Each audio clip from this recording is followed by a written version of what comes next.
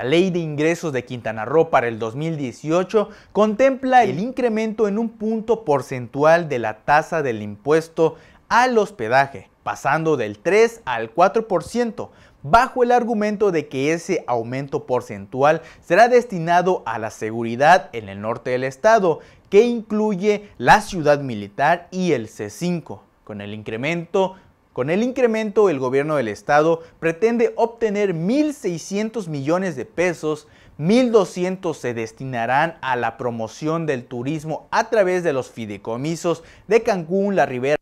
y el sur del estado, y los otros 400 millones de pesos adicionales anuales en los cuatro años que se pretende aplicar implicaría una recaudación de 1.600 millones de pesos que serían para financiar principalmente dos proyectos en materia de seguridad, el C5 Centro de Control, Comando, Comunicación, Cómputo, Calidad y la Ciudad Militar. El titular de la Secretaría de Finanzas y Planeación, Juan Vergara Fernández, señaló que el gobierno estatal busca obtener más recursos, pero sin recurrir a créditos bancarios. La inseguridad no es problema privativo del Estado ni del país y la principal política pública para 2018 debe ser la seguridad en todo el Estado, principalmente en los destinos más importantes en donde se acumula la mayor parte de los turistas.